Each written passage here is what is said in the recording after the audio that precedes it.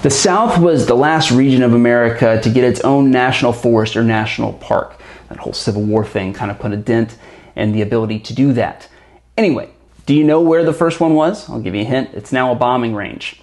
If you guessed Eglin Air Force Base, you're exactly right. The Choctawhatchee National Forest is now Eglin Air Force Base.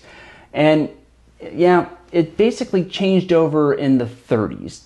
Great Depression was going on. We were gearing up for war with Japan and Germany. And in 1937, the Parks Department, the Department of the Interior, said, okay, you guys obviously need to get ready for this war. So, War Department, now the Department of Defense, uh, you can have this big old piece of land. And so, with the donation of James Plew, a local businessman here who gave what's now Eglin Air Force Base proper, uh, the runway and all the buildings around there, this became one of the biggest, if not, I think it is the biggest test range in the entire world for missiles, bombs, planes, anything that flies or explodes gets a little bit of a test here. So now you know.